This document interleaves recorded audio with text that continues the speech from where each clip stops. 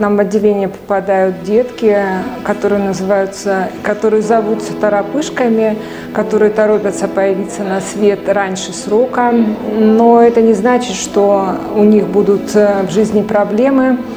Э, они вырастут и будут такими же замечательными э, детьми, замечательными и радующие родителей. Но для этого, конечно, нужно приложить массу усилий, усилий наших.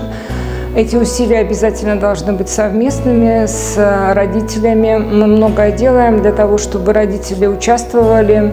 И мы очень э, рады, когда родители участвуют в выхаживании недоношенных детей потому что э, действие медикаментов э, у этих детей очень ограничено. В основном это уход, это любовь, которую дают, это грудное молоко, которое мама начинает сцеживать. Это метод кенгуру, который мы проводим, выкладывая на грудь мам, мамы недоношенного ребенка, который обсеменяется ее флорой. Иногда мы делаем, когда это не может делать мама, это делает папа.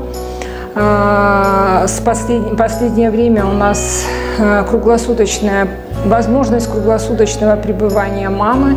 То есть мама пребывает в отделении реанимации ровно столько, сколько она хочет и сколько она может.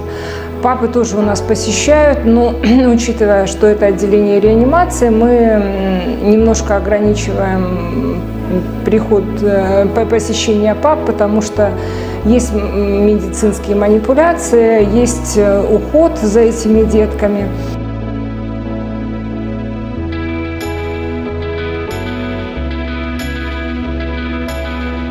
Раньше у нас мамы ходили по часам, э, сейчас по часам мы оставили режим кормления, да, дети все равно, больные детки должны кормиться по часам. Но если мама может, она может прийти в любое время, когда она может задать любой вопрос, э, то есть полный контакт с родителями.